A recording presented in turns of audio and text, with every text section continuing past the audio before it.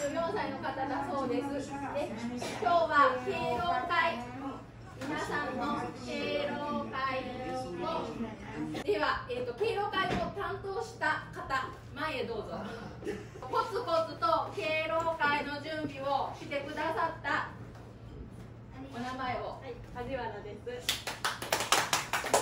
吉田です大南ですをいっぱいしてくださいました。また最後にはいいコメントが伺えると思いますので今から3人は考えます。はいじゃあどうぞ。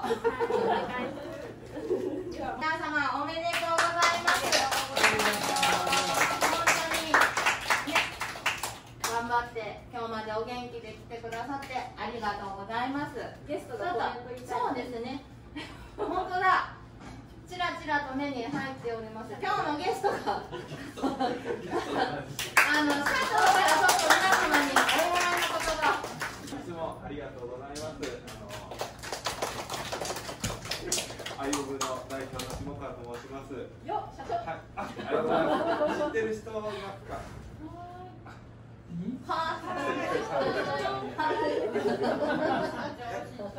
やった知ってますよね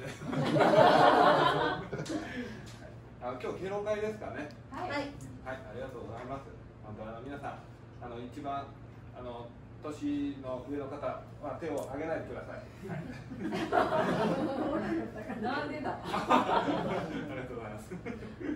本当おめでとうございます。これから何か催し物があるんですかね。はい。はい。はい、じゃああの職頑張って来ていると思いますんで、はい、今日は盛り上がってください。ありがとうございます。